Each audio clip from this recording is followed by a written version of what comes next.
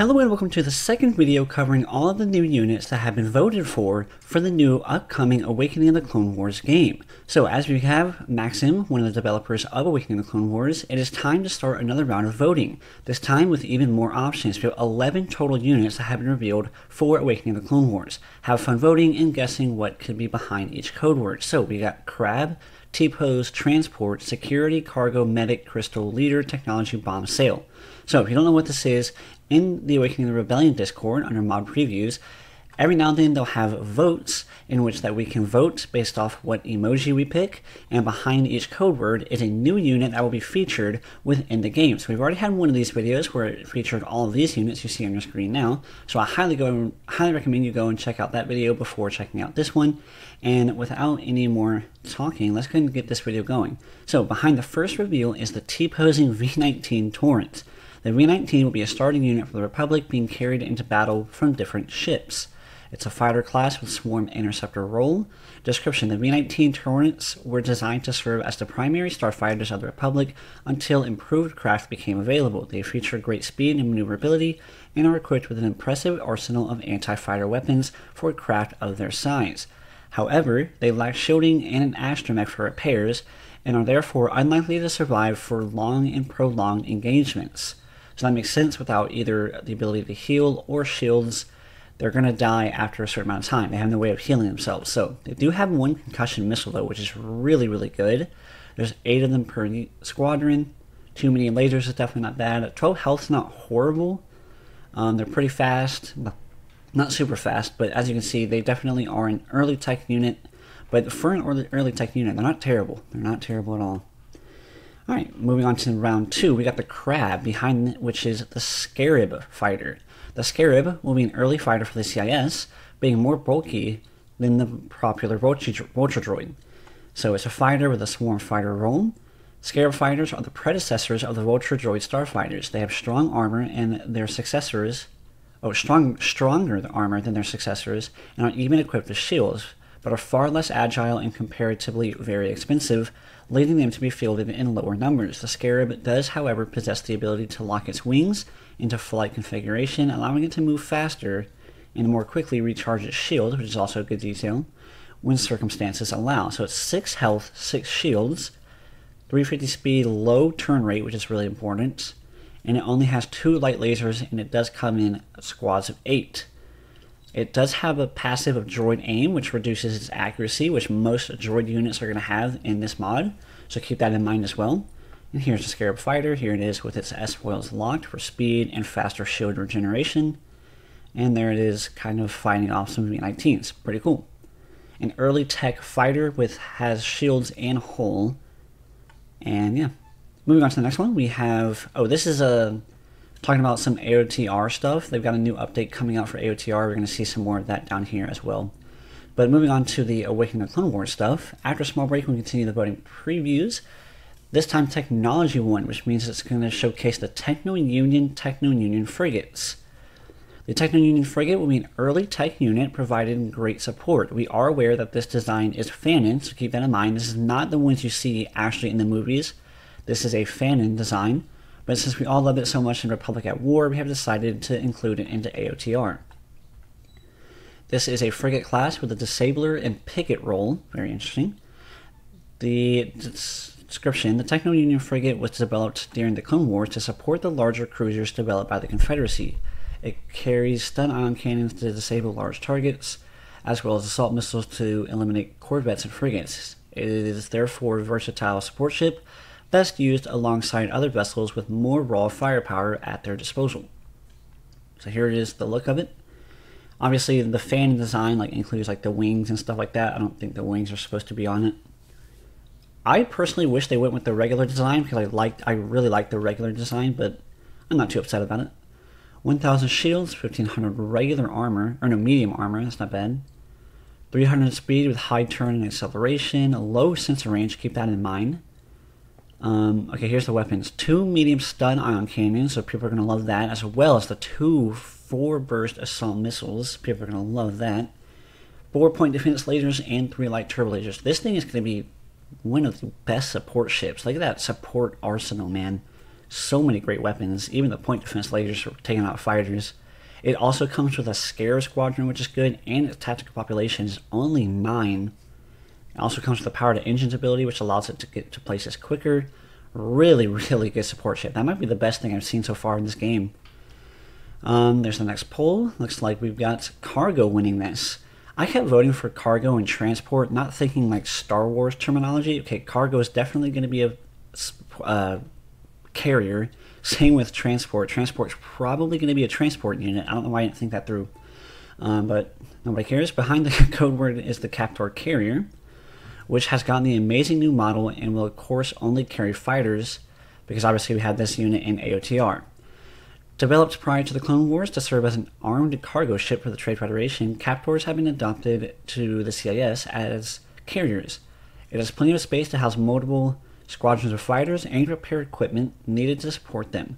The Captor carrier isn't much of a threat to proper warships, but its size makes it durable enough to take on some fire whilst it supports and deploys its starfighters.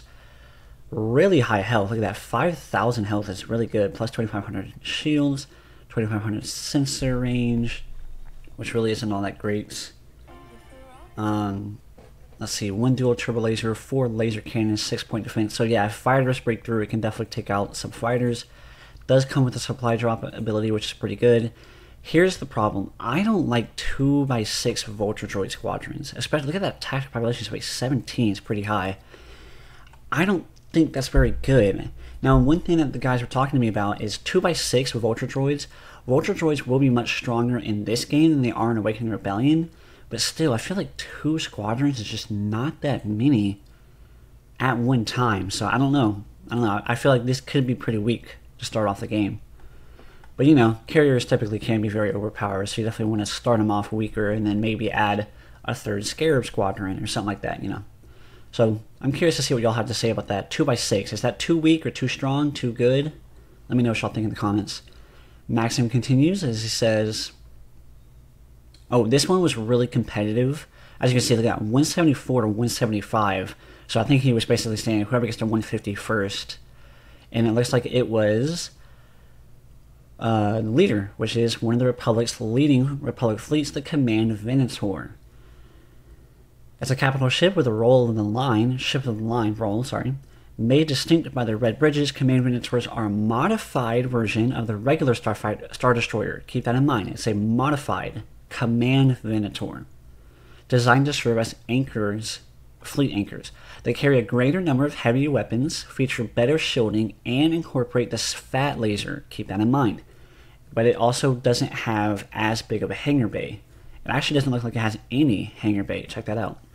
This does reduce the amount of starfighters it can carry, but it doesn't look like it has any. Complement redacted. I don't know what that means. Maybe I'm not fully ready to go with that. So it looks like it does carry some fighters, but they haven't decided what it looks like yet.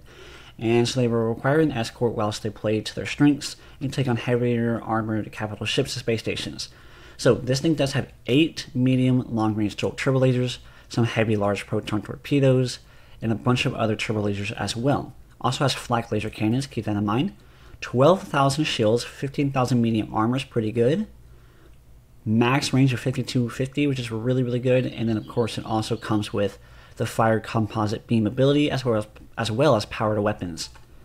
So this thing is going to be a very late tech unit, but it is going to be your main capital ship for dealing damage. You might end up building more of these than regular Minotaurs, but I feel like, I don't know, you're going to be building a lot of Minotaurs as well. I bet this thing's pretty expensive, upwards of 20 to 25,000 credits, so yeah. Um, also, sorry if you hear that bird. Um, Maxim, well, that was an interesting one. Behind the bomb code word is the Syntax Frigate, which will act as a late tech torpedo boat for the Republic. So the frigate class with a torpedo boat role. Syntax frigates are designed to hunt down and destroy opposing capital ships. They are armed with powerful torpedoes alongside an array of laser cannons for dealing with lighter opponents, though they lack hangar bays. Their strong engines allow them to rapidly accelerate and quickly reach the enemy, but they do suffer from a low turn rate, making precise retreats and repositioning difficult. That's a really important detail. It's the low turn rate. So when you're trying to get this thing to shoot its torpedoes, keep in mind torpedoes have to be facing the opponent.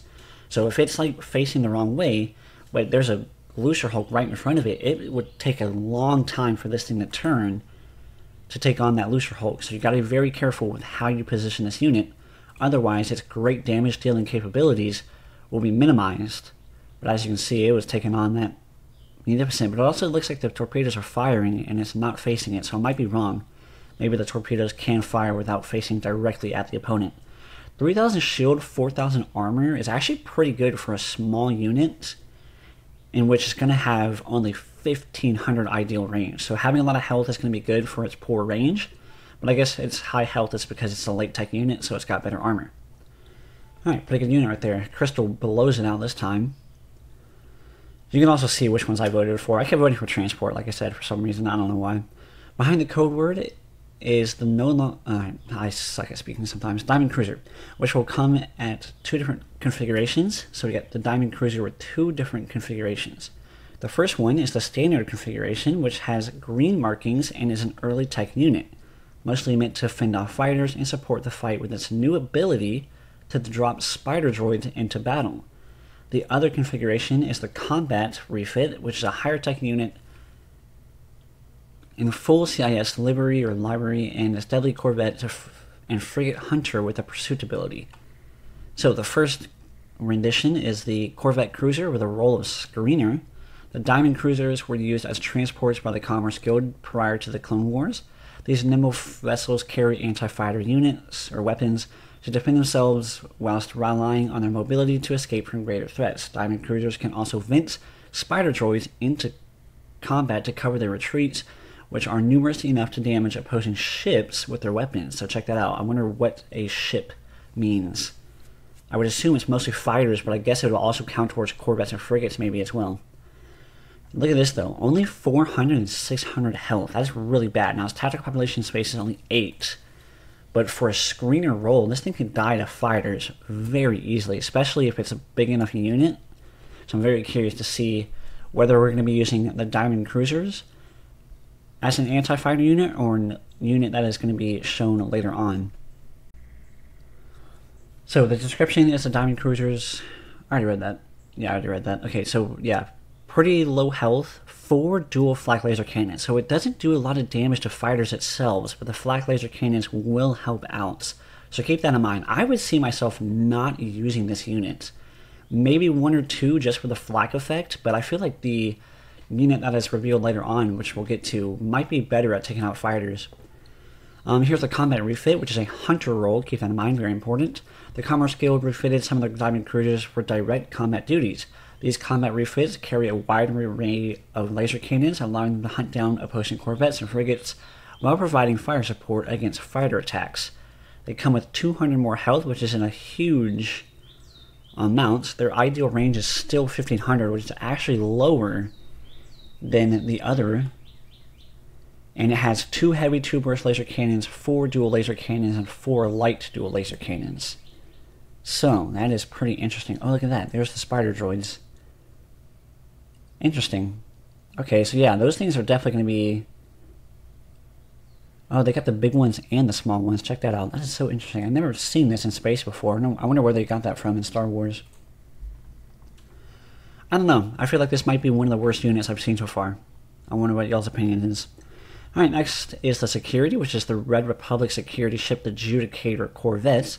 The Judicator will be a starting unit for the Republic and ensure the swarms of droid fighters will be kept in check. They are a screener slash hunter role with the Corvette class.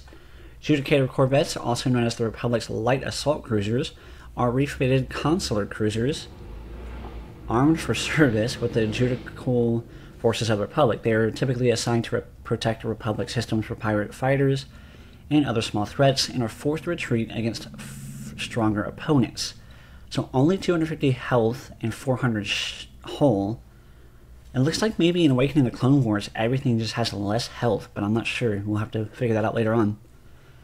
Um, 300 speed is pretty low for a Corvette. I guess that's kind of actually typical, honestly. I think the Raiders 300 too. Um, also, this thing has pursuit ability, which is really, really good for its role. Definitely don't want to pass that by. But it also doesn't come with the deploy spider droid, so keep that in mind as well. So we have this thing, 700, 650 health total, which is not that good. But only 8 tactical population space, and obviously it is a screener slash hunter role, so it's got two medium dual laser cannons and four, four point defense lasers. So this thing's going to be solid, you know, you just put it in your battles and then it'll kill some fighters. You don't have to worry about micromanaging it too much if you don't want to. So pretty decent unit. And as we get closer to the end of this video, we've got Medic, which is of course the Pelta. The Pelta frigate will be available in two different configurations, the support variant, which is the starting unit for the Republic, and the combat variant, which is an early tech unit. The support frigate will be have a lot of red markings and a big Republic symbol, while the combat variants only features small red highlights and is otherwise pretty gray. This will make it easier to tell which one you're fighting, obviously. Both Peltas are able to open their engine sections for additional speed at the cost of fire rate. Now keep that in mind, that is not a boost powered engines, it's actually a an S-foil ability, which is really good, so you can keep that speed up if you want it to have that speed for a lot longer than just a regular old powered engines ability.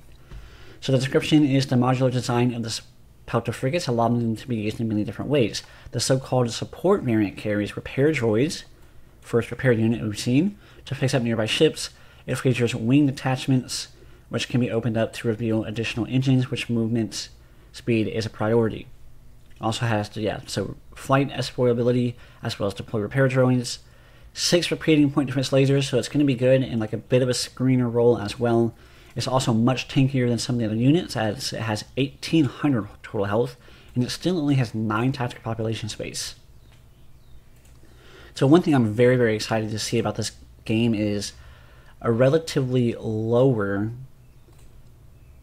tactical population space because I want to see bigger battles than Awakening Rebellion because Clone Wars did have bigger battles. Look at the Battle of Coruscant. Look at the Battle of Geonosis. The battles were huge. So I'm really excited to see some bigger battles, especially in space.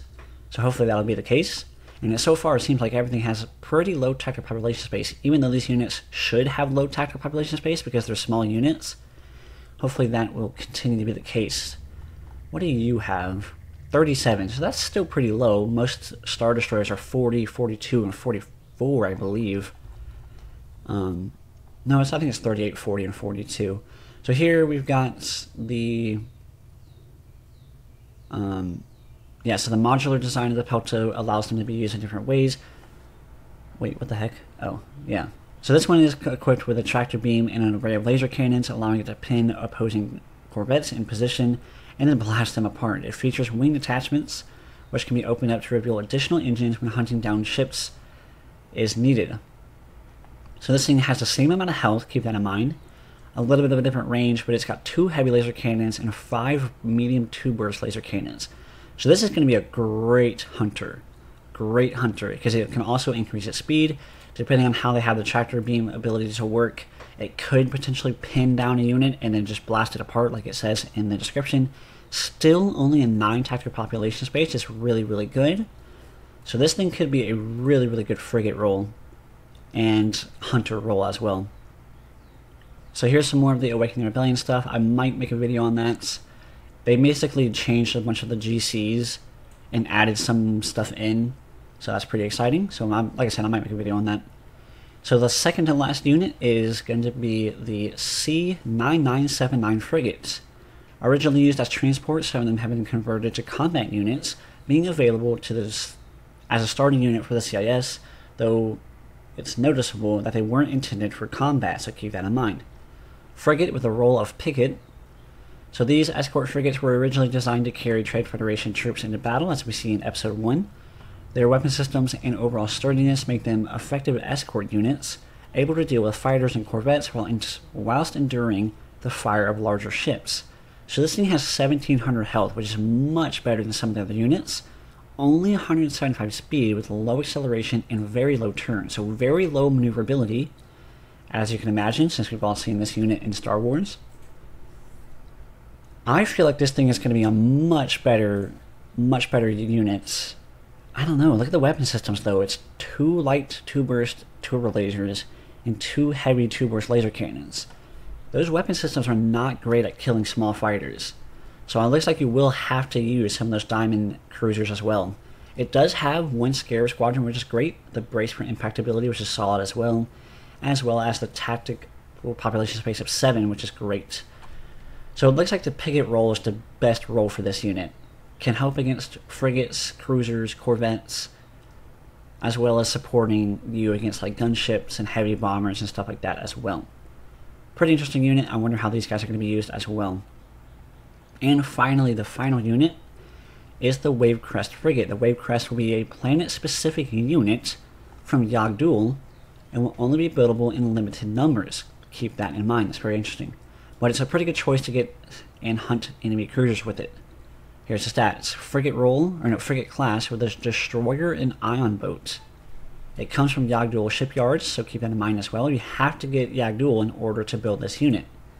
Which makes sense, because you do see these things in Star Wars, but they're not quite as common as something like this guy, you know. So the description, the Wave Crest frigates are an experimental design built by the shipyards of Yag'Dhul. Plans to sell them onto one of the bigger conglomerates of the CIS never came to fruition, and so they never entered full mass production. Those that were produced are, however, effective in battle, serving as a swift destroyer capability of rapidly dismantling shields with their ion cannons. 4,000 total health for a unit with only 9 tactical population space. Yeah, it looks like they're keeping the tactical population space very low to allow for bigger battles. 350 speed, high acceleration, high turn. Since the range, only a 1,000 ideal range and that is because it has six medium close range turbo ion cannons. Wow. Eight light range close range turbo lasers. That's impressive. And it has a stun, it has the ion barrage ability, which is going to be amazing, plus an entire unit of Scarab fighters. This thing's going to be really good. If the CIS starts with Yag'Dhul, it doesn't say how many you can build, but I'm assuming it's only you can be able to build like three, maybe five of these units. Hopefully five, because like I said, these aren't super common, but you do see them in Star Wars, so it's not like they're not common at all. I feel like they're one of the more common, not common units, if that makes any sense at all. But look at the weapon systems on this thing. Nine tactical population space. I wonder how expensive they are. Not a ton of health. Not a ton of health, especially for a close range unit of an ideal range of 1,000. But this thing by far has been one of the best units we've seen. And with that, that wraps it up. So we've got 11 new units. I feel like this thing could be really good. I obviously love the idea of this command Venator. Having two different Venators is going to be amazing. And so I'm, I don't know how I feel about 2 and 6. I think redacted means that they might change it. That's why they have this thing as redacted as well. So definitely let me know what y'all think in the comment section below. I really want to know what y'all think about each one of these units. If you want, definitely join the AOTR Discord or my Discord as well. I'll link them both in the description below. And definitely get involved in the comments. I want to see what y'all think about all these different units. Like I said, there is another video covering the uh, first set of units that have been released. And if they do any more of these voting previews, definitely join the AOTR Discord so you can be a part of the voting aspect. And then as well, like always, I'll make a third video for that as well. So thanks for watching and have a good day.